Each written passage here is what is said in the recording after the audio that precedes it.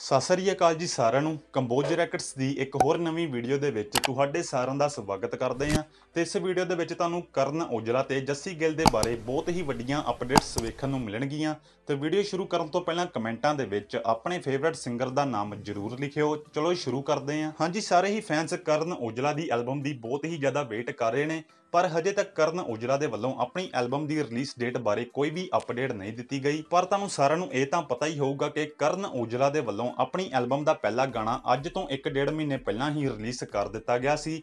ਜਿਸ ਗਾਣੇ ਦਾ ਨਾਮ ਹੈ ਚੂਗੋਂਡੂ ਤੇ ਕਰਨ ਔਜਲਾ ਦੇ ਇਸ ਗਾਣੇ ਨੂੰ ਬਹੁਤ ਹੀ ਜ਼ਿਆਦਾ ਪਸੰਦ ਕੀਤਾ ਜਾ ਰਿਹਾ ਹੈ, ਜਿਸ ਕਰਕੇ ਇਸ ਗਾਣੇ ਨੂੰ ਹੁਣ ਤੱਕ 5 ਮਿਲੀਅਨ ਤੋਂ ਵੀ ਜ਼ਿਆਦਾ ਵਿਊਜ਼ ਹੋ ਚੁੱਕੇ ਨੇ ਤੇ 5 ਮਿਲੀਅਨ ਵਿਊਜ਼ ਹੋਣ ਤੋਂ ਬਾਅਦ ਸਪੀਡ ਰੈਕਟਸ ਦੇ ਵੱਲੋਂ ਇਸ ਗਾਣੇ ਦੀ ਇੱਕ ਸਪੈਸ਼ਲ ਵੀਡੀਓ ਬਣਾਈ ਗਈ ਹੈ, ਜਿਸ ਵੀਡੀਓ ਨੂੰ ਤੁਸੀਂ ਵੀ ਸਕਰੀਨ ਦੇ ਉੱਤੇ ਵੇਖ ਸਕਦੇ ਜੋ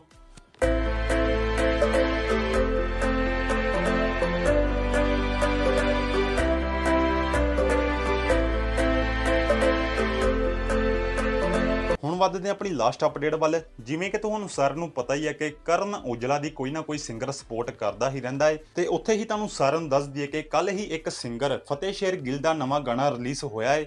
ਜਿਸ ਗਾਣੇ ਦਾ ਨਾਮ ਹੈ ਸ਼ਿਮਲਾ ਤੇ ਇਸ ਸਿੰਗਰ ਦੇ ਵੱਲੋਂ ਆਪਣੇ ਨਵੇਂ ਗਾਣੇ ਦੇ ਵਿੱਚ ਕਰਨ ਔਜਲਾ ਦਾ ਜ਼ਿਕਰ ਕੀਤਾ ਗਿਆ ਹੈ ਤੇ ਕਿਹਾ ਗਿਆ ਹੈ ਗੱਡੀ ਵਿੱਚ ਔਜਲੇ ਦਾ ਕੋਕਾ ਚੱਲਦਾ ਹੈ ਰਿਪੀਟ ਤੇ ਤੇ ਹੁਣ ਇਸੇ ਹੀ ਗਾਣੇ ਵਿੱਚੋਂ ਔਜਲੇ ਵਾਲੀ ਲਾਈਨ ਨੂੰ ਜੱਸੀ ਗਿੱਲ ਦੇ ਵੱਲੋਂ ਵੀ ਇੰਸਟਾਗ੍ਰam ਦੇ ਉੱਤੇ ਸਟੋਰੀ ਪਾ ਕੇ ਸ਼ੇਅਰ ਕੀਤਾ ਗਿਆ ਹੈ ਜਿਸ ਦੀ ਵੀਡੀਓ ਤੁਸੀਂ ਵੀ ਸਕਰੀਨ ਦੇ ਉੱਤੇ ਵੇਖ ਸਕਦੇ ਜੋ। ਬੈਠੀਆਂ ਕਿ ਖੱਬੀ ਸੀਟ ਤੇ ਨੀ ਔਜਲੇ ਦਾ ਕੋਕਾ ਚੱਲੂਗਾ ਰਿਪੀਟ ਤੇ। ਤੇ ਇਸ ਸਟੋਰੀ ਦੇ ਵਿੱਚ ਜੱਸੀ ਗਿੱਲ ਦੇ ਵੱਲੋਂ ਕਰਨ ਔਜਲਾ ਨੂੰ ਵੀ ਟੈਗ ਲਾਇਆ ਗਿਆ ਹੈ ਜਿਸ ਤੋਂ ਕਿ ਸਾਫ਼ ਹੀ ਪਤਾ ਲੱਗਦਾ ਹੈ ਕਿ ਜੱਸੀ ਗਿੱਲ ਅਕਸਰ ਹੀ ਕਰਨ ਔਜਲਾ ਦੀ ਸਪੋਰਟ ਕਰਦਾ ਹੈ। ਬਾਕੀ ਇਦਾਂ ਦੀਆਂ ਹੀ ਹੋਰ ਵੱਡੀਆਂ ਅਪਡੇਟਸ ਵਾਸਤੇ ਇਸ ਚੈਨਲ ਨੂੰ ਸਬਸਕ੍ਰਾਈਬ ਕਰ ਲਿਓ ਤੇ ਨਾਲ ਲੱਗੀ ਬੈਲ ਆਈਕਨ ਨੂੰ ਪ੍ਰੈਸ ਕਰਕੇ 올 ਦੇ ਤੇ ਜਰੂਰ ਕਲਿੱਕ ਕਰ ਲਿਓ ਤਾਂ ਕਿ ਹਰ ਇੱਕ ਵੀਡੀਓ ਤੁਹਾਡੇ ਤੱਕ ਸਭ ਤੋਂ ਪਹਿਲਾਂ ਪਹੁੰਚੇ।